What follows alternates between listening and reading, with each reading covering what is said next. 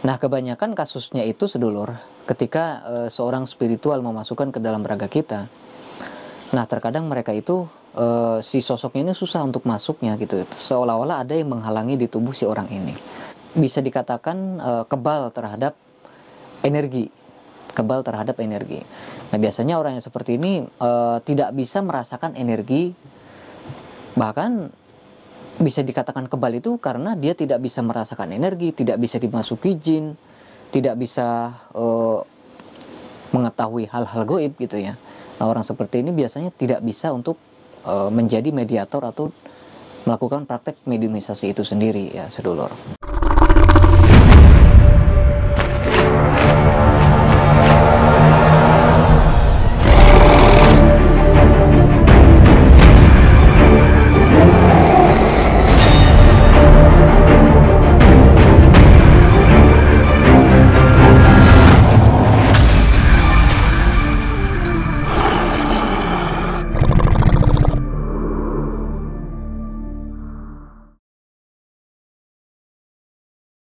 Assalamualaikum warahmatullahi wabarakatuh. Mohon maaf videonya kami potong terlebih dahulu Karena kami akan mempersembahkan berbagai macam uh, produk spiritual dan juga parfum atau minyak asli atau impor dari Arab Saudi atau luar negeri ya. Salah satunya adalah minyak misik hitam, minyak misik putih, minyak misik kobra, minyak kasturi kijang dan lain sebagainya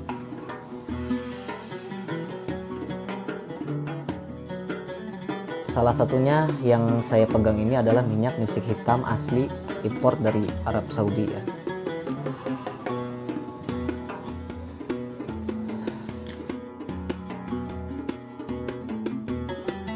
Minyak seperti ini bisa kita gunakan dalam beribadah, dalam menjalankan aktivitas dan untuk sarana bermeditasi, wirid, majelis taklim dan lain sebagainya. Tentu minyak ini asli original 100% tanpa campuran apa pun ya. Dan apabila sedulur membutuhkan sarana keselamatan, sarana penjagaan, pengasihan, kerejekian dan lain sebagainya, kami juga menyediakan produk tersebut di Shopee, Tokopedia, Lazada. Sedulur bisa klik link di deskripsi box ya. Mungkin cukup sekian. Assalamualaikum warahmatullahi wabarakatuh.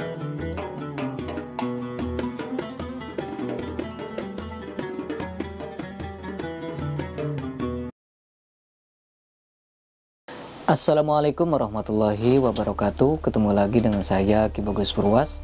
Salam spiritual. Apa kabar sedulur semua? Semoga semuanya selalu dalam keadaan sehat walafiat.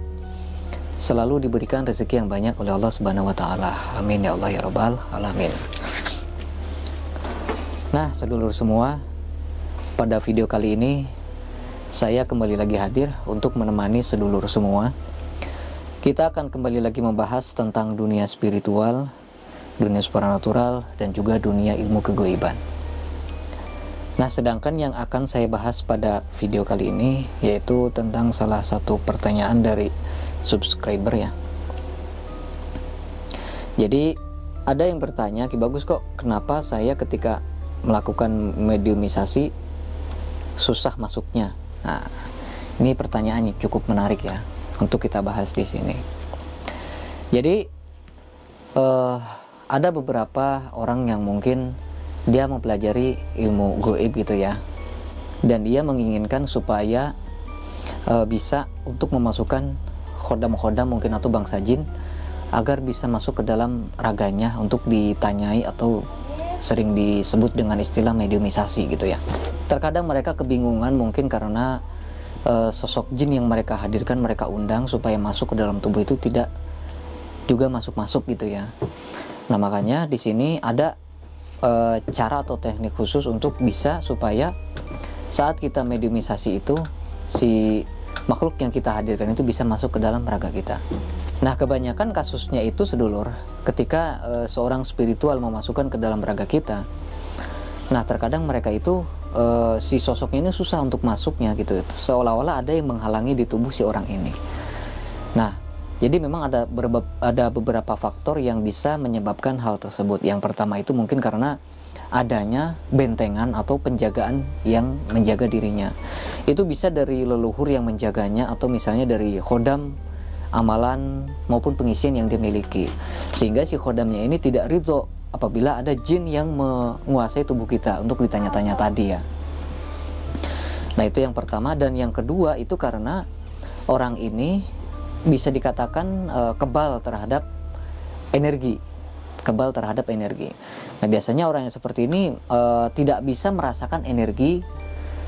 Bahkan bisa dikatakan kebal itu karena dia tidak bisa merasakan energi, tidak bisa dimasuki jin, tidak bisa uh, mengetahui hal-hal goib gitu ya. Nah orang seperti ini biasanya tidak bisa untuk uh, menjadi mediator atau melakukan praktek mediumisasi itu sendiri ya sedulur. Karena hal itu tadi ya. Nah karena dia itu orangnya kebal terhadap energi atau bisa dikatakan juga tidak peka dengan energi. Nah jadi ada dua faktor tadi sedulur. Nah, lalu bagaimana solusi supaya kita bisa melakukan praktek mediumisasi tersebut atau memasukkan jin ke dalam tubuh kita untuk ditanyai oleh orang lain gitu ya. Nah, sebenarnya seperti yang kita lihat-lihat di YouTube gitu ya di TV dan di berbagai tayangan-tayangan itu uh, tidak semuanya real bahwa itu adalah mediumisasi. Ada yang settingan, ada yang memang benar-benar dia itu melakukan mediumisasi dan dimasuki atau dirasuki oleh bangsa jin gitu ya. Jadi jangan langsung percaya orang ditanyai uh, ditanyai oleh manusia bahwa dia itu kerasukan jin gitu kan. Karena orang yang bisa melakukan mediumisasi itu tidak gampang. Mereka itu perlu latihan dan mereka biasanya uh, sudah terlatih terlebih dahulu sebelum dia melakukan praktek mediumisasi itu, saudara. Nah, latihan yang bagaimana yang yang bisa untuk uh, menghadirkan bangsa jin supaya bisa masuk ke dalam tubuh kita. Nah, selatihannya sebenarnya sama dengan kita mengolah energi dengan kita e, melakukan pendeteksian energi hampir sama, sedulur. Cuma biasanya biasanya orang yang sudah peka terhadap energi itu bisa dimasuki jin atau mediumisasi, sedulur. Biasanya orang yang sudah peka terhadap energi dan yang kedua itu adalah orang yang pernah mengalami kesurupan tanpa dia sengaja. Nah, biasanya orang yang pernah mengalami kesurupan entah itu dia waktu uh, beberapa tahun yang lalu atau ketika dia masih muda itu bisa dipastikan dia dia itu bisa dimasuki jin lagi atau mediumisasi itu tadi ya sedulur. Nah, kenapa kok orang yang kerasukan tiba-tiba nggak perlu belajar apa-apa bisa dimasuki jin lagi atau mediumisasi? Iya, karena orang yang dimasuki jin atau kerasukan itu itu bisa diibaratkan eh, cakra-cakranya itu sudah bolong sedulur gitu ya cakranya sudah terbuka akibat dijebol oleh bangsa jin itu tadi nah maka setelah eh, batinnya sudah sudah jebol tadi ya. Nah maka bangsa jin itu bisa dengan mudah memasuki tubuh kita. Begitu. Apalagi dengan dihadirkan oleh seorang seorang spiritual supaya masuk ke dalam tubuh kita. Nah itu salah satu apa ya cara untuk bisa mediumisasi nah Sedangkan yang pertama tadi ya, yaitu dengan cara kita sering latihan mengolah energi. Misalnya seperti kita sering melakukan silat goib. Silat goib itu kan uh, kita uh, menggerakkan mengikuti gerakan uh, energi yang mengalir mengalir di dalam tubuh kita seluruh. Saat tubuh kita digerakkan oleh energi, maka kita cukup mengikutinya saja.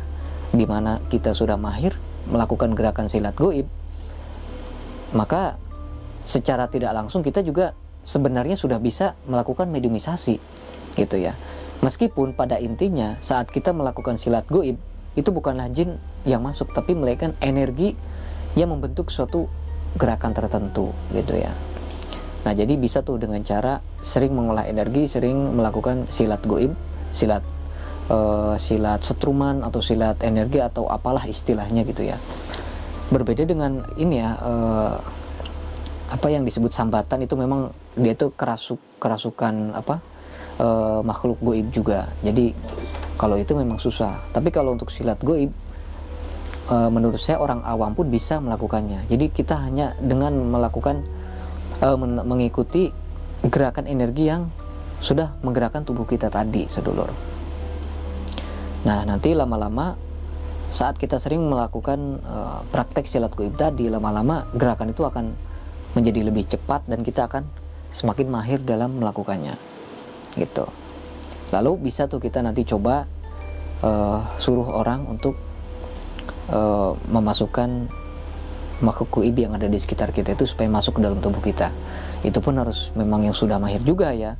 Orang yang memasukkan jinnya juga harus mahir minimal harus harus mempunyai uh, dasar tenaga dalam untuk menarik bangsa bangsa, bangsa jinnya, sedulur.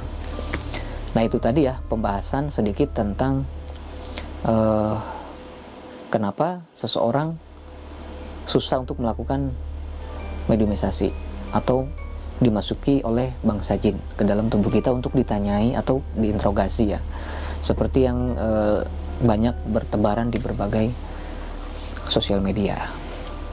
Nah, paling itu aja yang perlu saya sampaikan dan semoga bermanfaat buat semuanya. Mohon maaf apabila ada kesalahan-kesalahan dalam berucap ataupun berkata, karena saya hanya manusia biasa. Baik, semoga bermanfaat. Saya Ki Purwas. Assalamualaikum warahmatullahi wabarakatuh.